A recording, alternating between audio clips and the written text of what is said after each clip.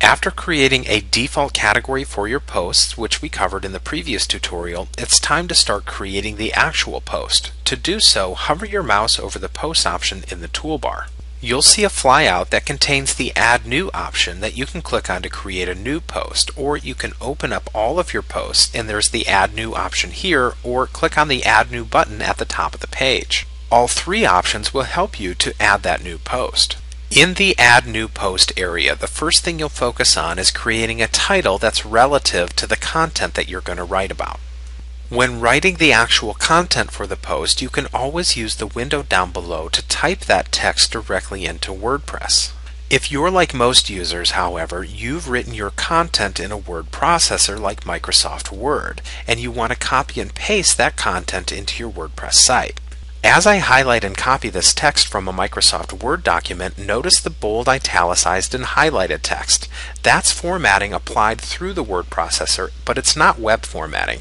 To safely paste that text into my WordPress post, I'll click on the toggle toolbar button here. In the next tutorial, I'll show you other features of the native editor here in WordPress, but to paste my text in at this point, I'll click on this Paste as Text option. This is the best way to safely paste in text into the WordPress site. Once I click on the OK button, I'll be working in plain text mode, and if I paste the text in from Microsoft Word, all that formatting has been erased. I'll cover more features of the editor in the next tutorial, but for now I'll click on the Save Draft button. This saves the post, but it's not published on the front end of the site.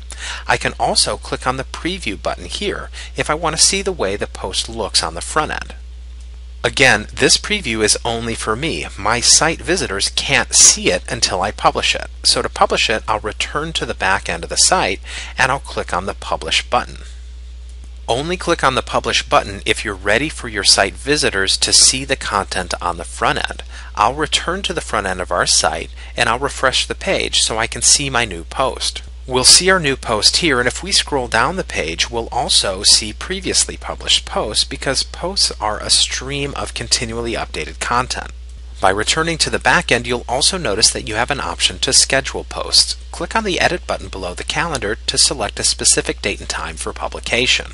By scrolling down the page, we can also see an option to save our post into multiple categories other than our default category. You can save one post to multiple categories in WordPress.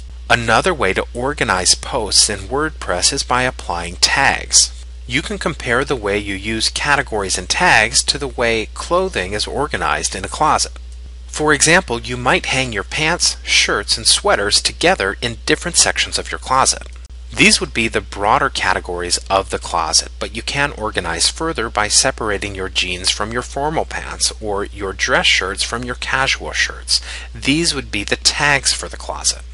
Tags are visible on the front end of the site and site visitors can click on the tag to get an index of all of the posts containing that tag. Tags also become part of the post's metadata which is indexed by search engines. Tags are keywords that can help guide people to your content and each tag should be relevant to the content that you've written. After separating each tag with a comma here, click on the Add button to add those tags to this post.